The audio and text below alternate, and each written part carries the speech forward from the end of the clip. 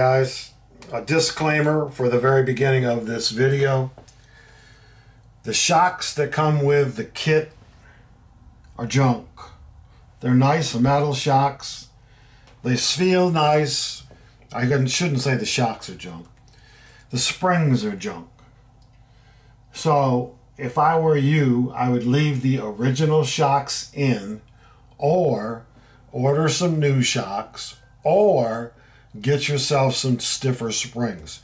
Because these springs that are on here now when you put it down it just dot drops.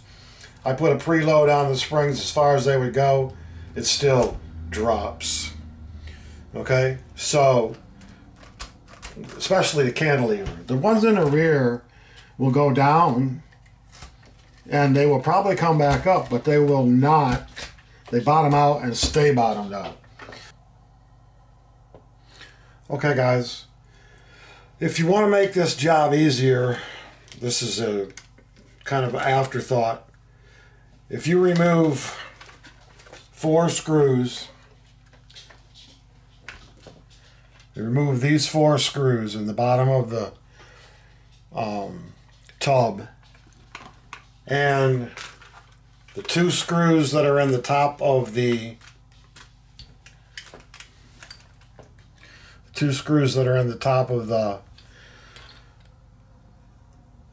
roof that go into the shock towers and the two screws on the back of the battery tray kind of hard to see back here okay right in here. You can lift this frame chassis off but you also have to remove two screws on the on-off switch, excuse me, inside the cab. Okay, welcome back to the bench.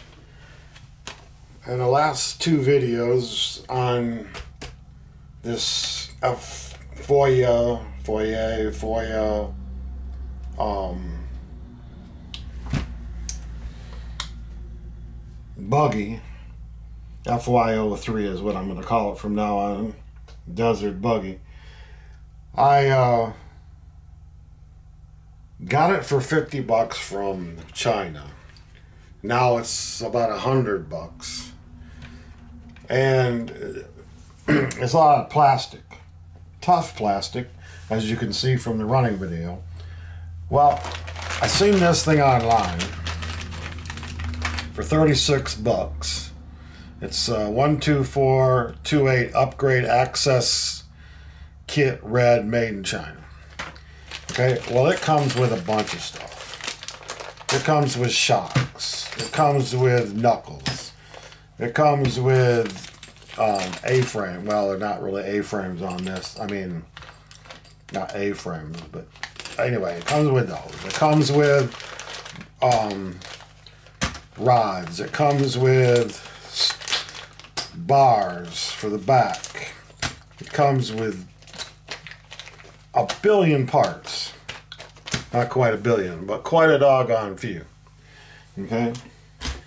So, I thought, what the heck? Let's see how hard it is to upgrade to a bunch of metal on this vehicle, especially for 36 bucks. So that's what we're going to do. All right. I like the shocks already compared to the ones that are on here. but we got A-arms. We got all kinds of stuff. So let's start tearing it apart and replacing stuff.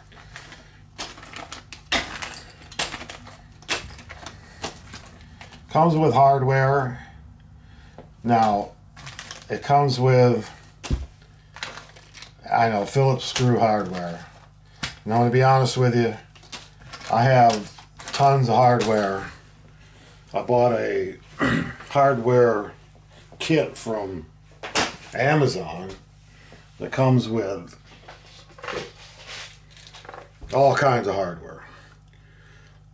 So we'll probably switch hardware with um, not using Phillips if we have the right hardware.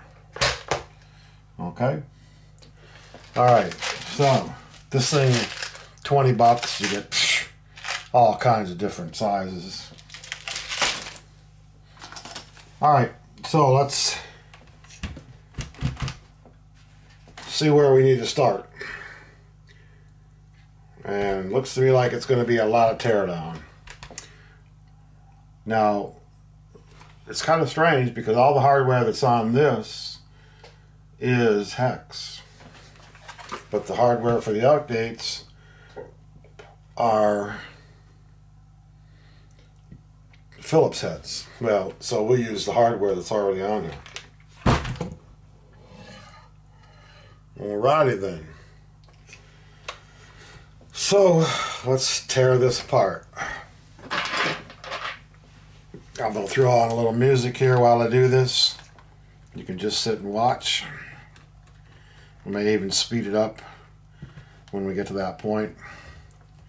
I have some new wheels and tires coming too. A little bigger tires, some metal bead locks that we're going to put on here also. Now when you take these apart, there's some little pins and little on these hex hubs that you're going to need them when you put it back together. Matter of fact, that one looks like it's bent. We might replace those too with some stronger ones. And some maybe some metal hex deals here. I don't know if it came with those or not, but I, I'm sure I got some somewhere. Nice to have a little tray to throw everything in, or Tupperware or glassware. My wife steals my wife's Tupperware stuff. The little bowls work good to hold stuff. Now they make axles and axle shafts for these, but they don't seem to be any better than the ones that are in it. And I don't know, we banged it up pretty good with my grandson and my son and they seem to hold up pretty good so we'll stick with those. Tell you what if you guys can find yourself something like this they don't make this anymore. But I've had this for a long time but it's got torque for screws and I mean I love it. It's too bad they don't make it anymore.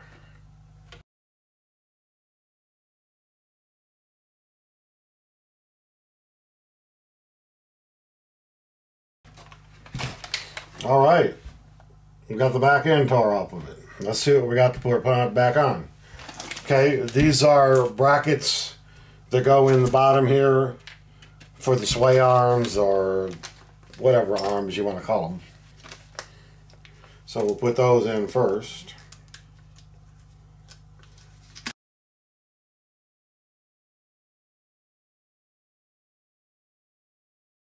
If you have trouble remembering where stuff goes, and pull out your phone take some pictures. Alrighty then. Pretty simple. Now let's see, do we have those little brackets? Yes we do. Okay, no we don't. Those are different for something else. I don't know what those are for. We'll see when we get to them. So these brackets are not changed.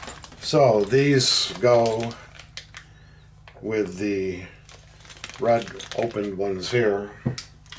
They go in here.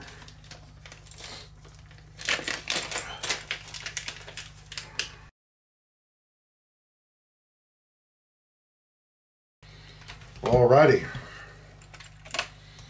Now the other ones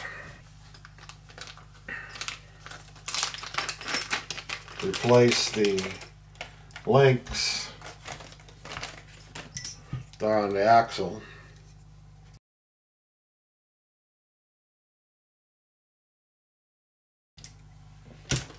All right. That was pretty simple. Now, shocks put load on them.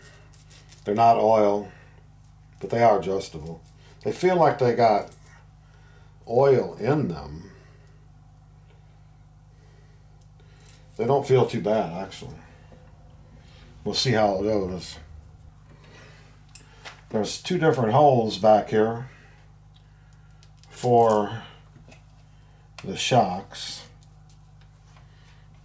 I'm going to put them back right where they were.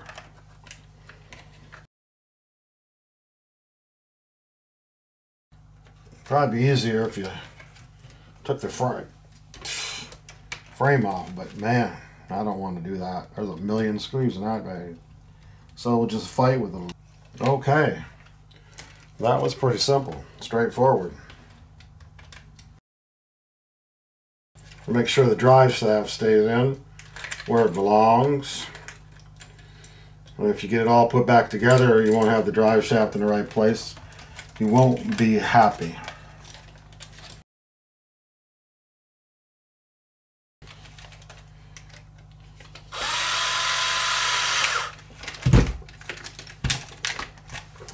Okay.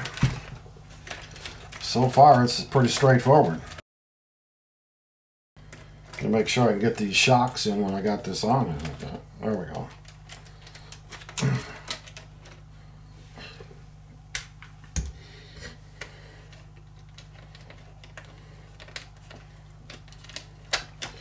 Then there's three adjustment holes for the shocks in the back too. I'm going to put it in the middle one. So if you want to tinker with your shock adjustments, you can. Okay, so all the hardware that comes off goes back on and fits so you don't have to use their hardware.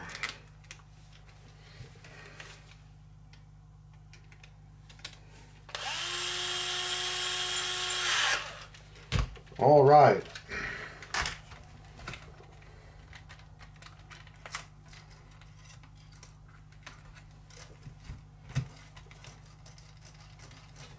All right, looking good.